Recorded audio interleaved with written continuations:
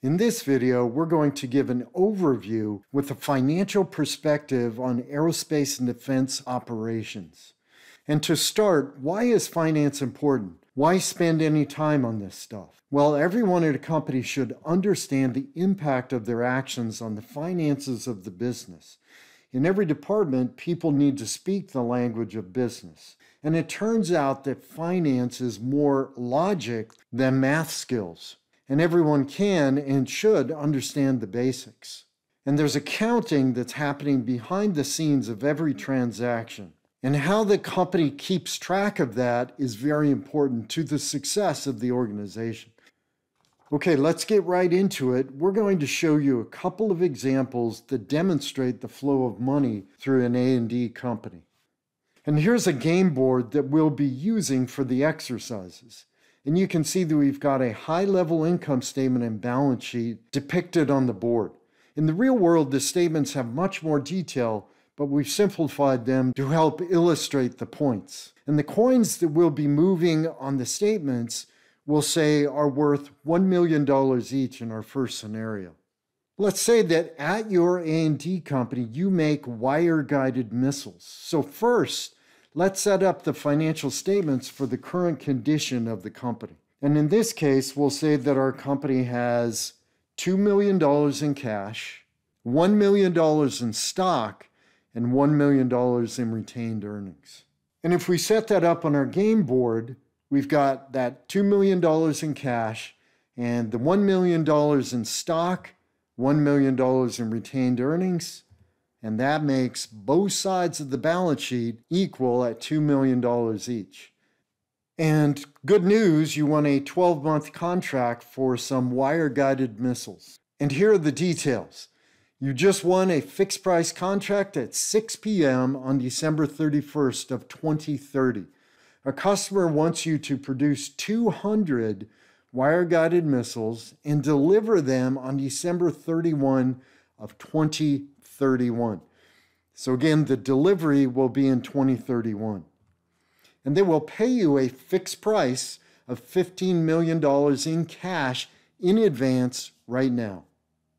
And each missile is expected to cost you $50,000 in cash in technical and production labor, materials, engineering, PMO expenses, and other program expenses in 2031.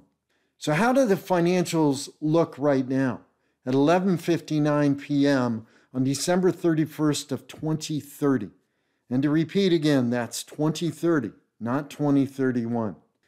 And if we work that through on the game board with it set up with our starting condition of 2 million in cash, a million in stock, a million in retained earnings. You can go ahead and pause the video and play it out more fully if you'd like, and then you can come back and watch how I do it. Okay, here's what I got. So again, we've got cash in advance from the customer. There it is, $15 million showing up on our balance sheet now in cash. And we have balancing that out a liability. Advance payments, $15 million.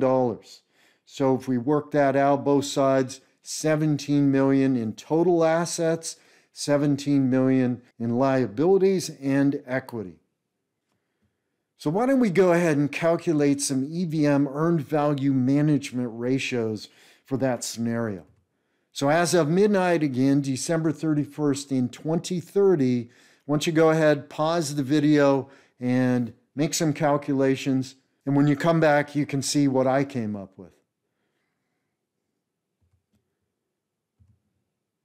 Okay, here's what I came up with. If we work through the bookings, the answer is $15 million in bookings that we were awarded. So the booking margin, since we believe it's going to cost 10 million in expenses and it's 15 million that we're getting, we take that difference to 5 million divided by 15 million, 33%, assuming we come in on cost. And our backlog, because we haven't begun work on the program, we can't book the sales, but we've got $15 million in backlog of work ready to do next year. And our budget at complete is that $50,000 per missile times 200 missiles for a total of 10 million that we think our budget is to complete in cost this program. And our actual cost of work performed, or ACWP, is zero. We haven't done any work yet, so we don't know what that number is yet. Now we need to actually deliver on the missile contract. So let's assume now it's 11:59 p.m. on December 31st of 2031. And over the past year, we've produced the 200 missiles, but unfortunately, they cost us 55,000 in cash each to build them, not 50,000 as expected. But we did deliver the 200 missiles to the customer we also paid in that period admin and selling expenses of $1 million in cash to cover our advertising, work on the proposal, administrative costs that we had for the program. We paid taxes of $1 million in cash. How do the financials look at the end of the year now in 2031? Let's go ahead and work through this scenario using the financial statements. And if you'd like to pause the video and work through this yourself, you can then come back and see how we work through it. So the first thing that we've got is we had received advance payments.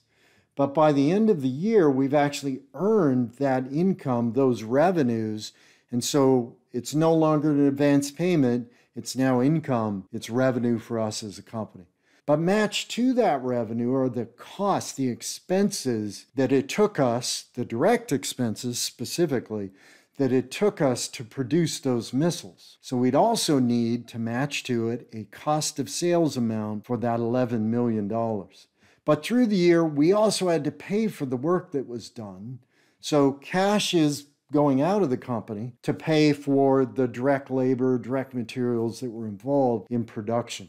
As well, as mentioned in the scenario, we've got some administrative and selling expense that was associated with this program. So we're going to put that onto the income statement as well. And through the year, the cash goes out.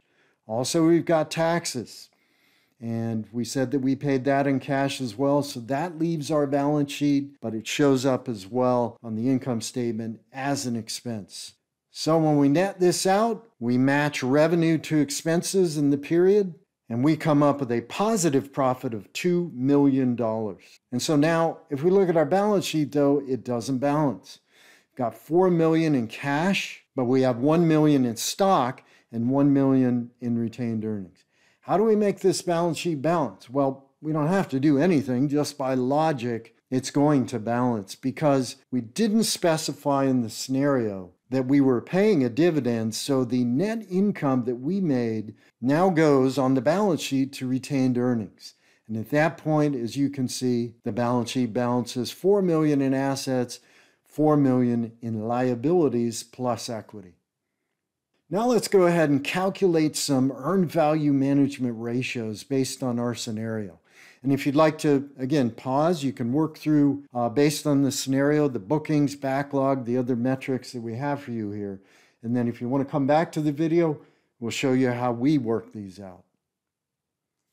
So working through those EVM ratios based on the scenario, we've got no bookings because in that scenario, we didn't say that we had additional work. You would hope that you would have some additional work, but in this case, we didn't state it. So actually, our bookings are zero at this point. Our backlog, because we've delivered on this program, the backlog is zero. Our book to bill, again, we have no bookings, so book to bill is zero. Our budgeted cost of work performed, BCWP, 50,000 per missile times 200 missiles for 10 million in BCWP. But the actuality was that our actual cost of work performed, ACWP, turns out it cost 55,000 in direct expenses, labor and materials to produce those 200 missiles. So we had 11 million dollars in ACWP actual costs our CPI then, using those numbers, 10 million divided by 11 million, we're at a 0.91 cost performance indicator, 0.91. Our SPI, schedule performance, is BCWP divided by BCWS, so that's the 10 million And turns out we were right on schedule, so 10 million comes out to a 1.0. So our profit margin on this program, not for the company overall, but on the program, we had 15 million in revenues minus the 11 million that we had in direct costs. Divided by that 15 million, that difference gives you 27%. That's still a very nice profit margin, but we had expected to get 33%, so we came in a little bit lower on our profit than we had hoped. Okay, in the scenarios that we just went over, we did a lot. We reviewed the income statement, the balance sheet, talked about how money flows through these statements, talked about how the balance sheet is called that because it always balances, it has to.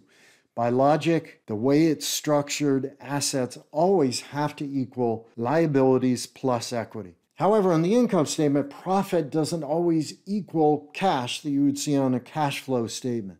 And there's accounting happening behind the scenes in the scenarios that we went through.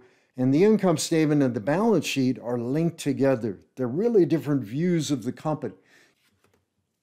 Well, that's a quick video overview of a financial perspective on aerospace and defense company operations. And if you'd like to take the next step and really bring these numbers alive, contact PriSim to find out more about our BizFighter business simulation. Feel free to contact us through the email address here. Thanks for watching.